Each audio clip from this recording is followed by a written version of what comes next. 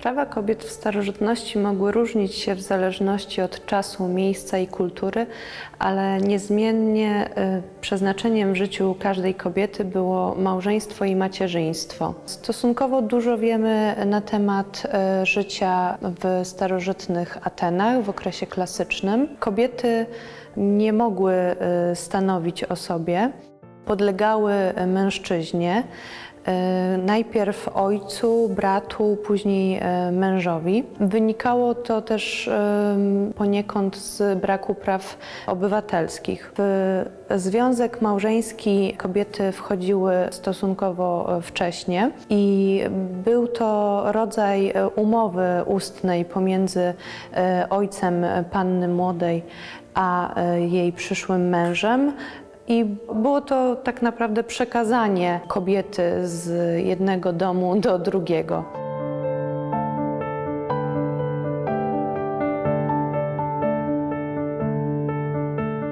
Nawet podstawowe swobody, y, takie jak wychodzenie z domu, były y, ograniczone przez przyzwolenie mężczyzny. Kontakt ze światem zewnętrznym był często ograniczony jedynie do uczestnictwa w uroczystościach religijnych, a Obecność w strefie publicznej e, w innych e, przypadkach była negatywnie oceniana. Pod szczególnym nadzorem znajdowały się młode greczynki, które od wczesnego wieku odseparowywano od e, chłopców i mężczyzn spoza domu rodzinnego, aby móc uchronić ich dziewictwo aż do nocy poślubnej. Z tego względu e, kobiety najwięcej czasu spędzały w domach, a w szczególności w Gnajkejonie, czyli kobiecych pokojach, w których mogły spełniać swoje codzienne obowiązki. Na zewnętrznej części Kyliksu przedstawiono właśnie taką scenę z życia codziennego. E, kobiety zostały ukazane podczas e, przędzenia. Jedna z nich trzyma wrzeciono, druga kosz z wełną. Tkactwo w starożytnej Grecji e, było codziennym zajęciem kobiet i dziewcząt. Było to zajęcie bardzo czasochłonne, ale jednocześnie można było je pogodzić z opieką nad dziećmi. E, jednym z przedmiotów eksponowanych w gablocie poświęconej tematyce kobiecej jest e, epinetron. Był to przedmiot wykonywany z wypalonej gliny. Epinetrony nakładano na udo. Miały one za zadanie pomóc w przędzeniu wełny i jednocześnie chroniąc przed podrażnieniami e, skóry wywołanym właśnie kontaktem z tym e, surowym materiałem. Tak bogato zdobione epinetrony mogły stanowić część e, darów ślubnych. Odnajdywane one są również w grobach kobiet i dziewcząt, nawet tych, którym nie dano było zostać żoną. I w takich sytuacjach interpretuje się to jako nadzieję na wykonanie tego e, obowiązku kobiety nawet po śmierci. W gablocie zaprezentowaliśmy również zestaw zabawek, grzechotki, lalki, które y, mogły być używane zarówno przez matki, jak i dzieci. Najpopularniejsze y, modele lalek były wykonywane y, z wypalonej gliny, która była tania i dostępna.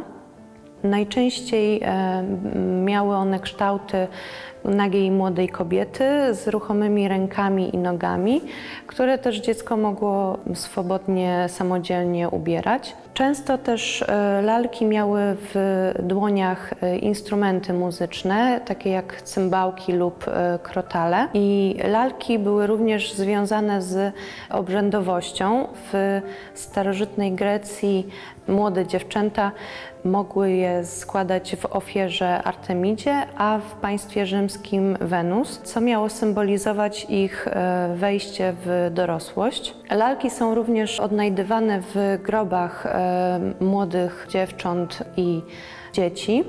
E, jest to oznaką ich przedwczesnej śmierci, niewinności lub dziewictwa.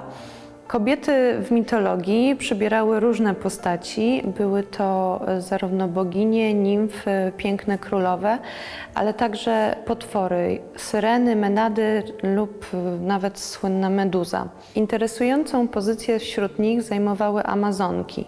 Antyczni pisarze, ale też współcześni historycy identyfikują je jako e, nomadyczne plemię scytyjskie. W greckiej wyobraźni figura Amazonki była wielowymiarową e, metaforą innego.